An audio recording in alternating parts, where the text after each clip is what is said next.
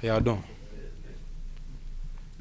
The interception, I mean, what, what do you see when you see that ball, you know, floating in the air a little bit? What do you, Uh, I was just thinking catch it, man. You know, uh, make sure I made a play. Um, it was a great call. We were we in the perfect call uh, for that for that play uh, to go against them. So, I mean, it was it was exciting.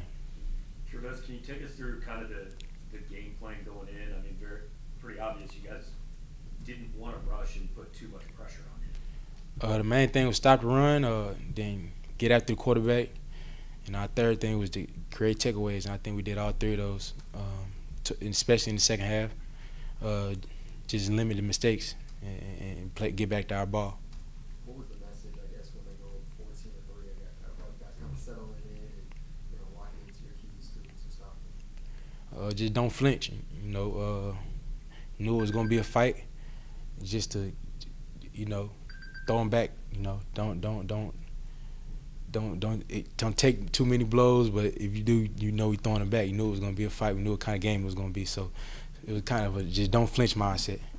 TreVez, BC gives you so many different looks coming out of the backfield. How hard is it for the defense to be able to, how much of a challenge is it to communicate and to kind of maintain that gap integrity? Just how much? I mean, that was another one of our main emphasis this week was make sure we communicate. Uh, we knew they were going to give us a lot of movement, pre-snap, post-snap, mo- uh, a lot of motion. So, uh, just the main thing was get get our cleats set, communicate, and, and play ball.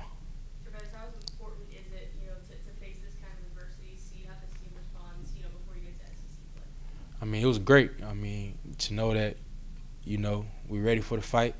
Um, being don't break mindset, you know, it might it might be an up and down game, but I, I know I can count on them, the guys in those in that locker room. When you have to take away in the offense in terms of the points, does that change it, how a game feels, especially a game like this? Uh, definitely. I mean, it was definitely a, a, a big momentum shift in the game. Um, but even after that, the, the game's not over. We got to keep it going. Uh, I mean, you see, they made it a little bit close at the end, but we we, we kept uh, we kept throwing punches. Let's talk about some of the difficulties that facing a mobile quarterback can do for a secondary when somebody can extend plays as long as Castellanos is good.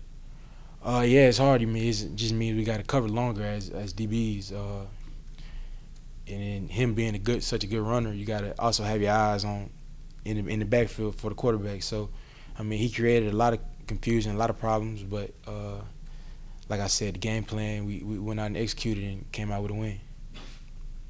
Because um, your interception, just how important you think that was for just the momentum to, to have big play?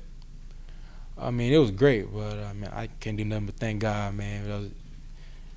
Right, right spot, right time, uh, and then just to give us, give us the opportunity to good, come out with a win. I mean, it, it's just a blessing. touched on it a little bit ago of being able to respond to adversity, but with, just what was the mindset after the defense kind of has gets paper cut it down on that first drive, allows for a touchdown of the season? What was the mindset, and how do you think the group responded to that? Don't flinch, you know. Um, I think we responded great to it, you know, to come out here with a dub. Um, yeah, man. How much of Luther's touchdown did you see? Say it again. How much of Luther's touchdown right after your pick did you see? I seen it. Yeah, I was watching it all the time. Yeah. I mean, explain that play, how difficult it is to do what he does. I mean, that's another momentum shift in the game. Um, big play we needed. You know, that's one of our best playmakers. I think one, if not the best playmaker in college football. So, you know, just get a ball to three. I mean, he did did what he do do what he's gonna do.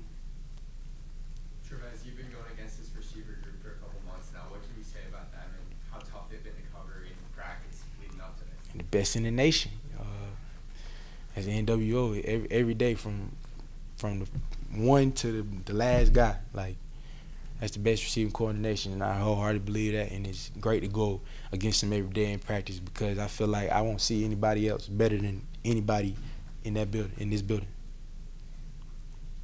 Anything else for TreVez? Appreciate it. Thank y'all.